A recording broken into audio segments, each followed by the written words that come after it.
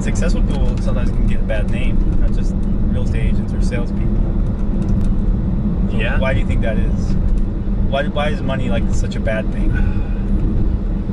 I, I it really I think it goes back to the way that we were all taught, you know, just what's normal. And you know, I, looking into this, I believe that the children of very financially successful families generally get taught differently about about money than Yeah. pretty much everyone else, and that's just because their parents know better. And I think so. At the end of the day, I think it really all comes down to the pa- the parents. But beyond that, it's like the parents are probably going to do what the societal norm is, especially if they're from a pretty um, average or you know middle class background or whatever. Um, but I, I think I think the viewpoints on money is negative just because of you know how everyone was taught, and it's kind of to me it's like a perpetuating thing. It's like okay, um, if we grow up like that, then guess you know what what are our kids gonna learn eventually one day is kind of like you know perpetuates itself over the generations, but.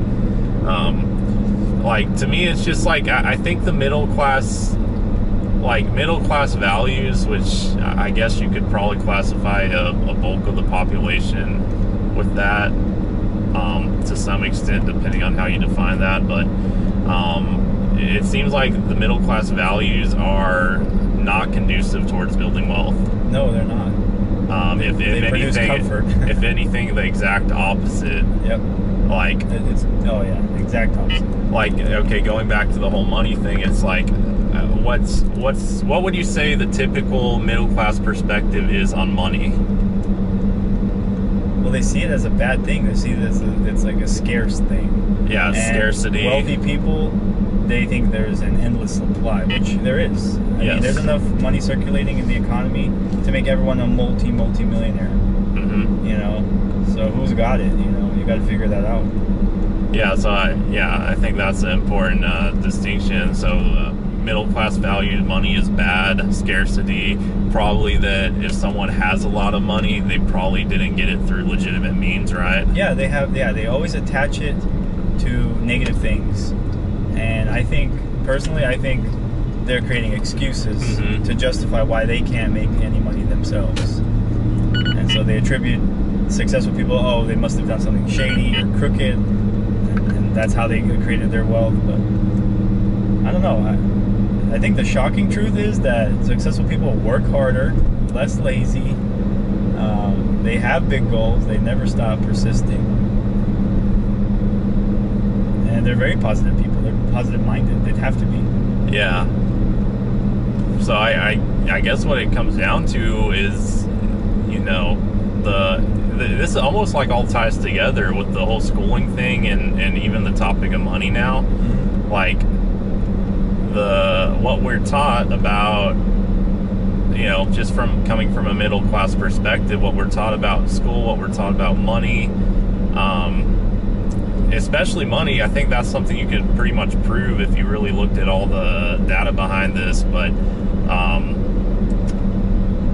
you know on, the whole point on, on money is a bad thing or money is you know the people who have it aren't legitimate or didn't do Mhm. anything good to get it i think you would like if you pull the, the data on that i know for a fact you will find that that's not true exactly and actually the complete opposite of that is Yeah. true um, that the people who have the most money um, one they got it through legitimate means most of them Most vast of them. majority Vast majority. um, two that they actually did provide a lot of value and help a lot of people to get it Of course. and you know not the opposite of that so i think uh, what this all comes down to is if you're coming from a middle class background you know what your parents taught you what you learned growing up just from society even though best intentions in the world Yeah. uh, it's wrong It's wrong. Yeah. and you know being an individual an intelligent individual as you are watching this um, you need to learn to question things you need to learn to make your own decision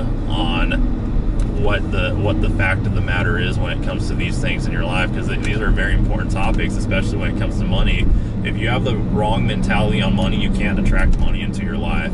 Yeah. If you believe uh, that money is scarce, you will always find scarcity in your life. And if Yeah. there ever comes a time where you have an abundance of money that comes onto you for some lucky reason, which it probably won't, but if it does, I guarantee you, you will not keep it because you have a scarcity mindset.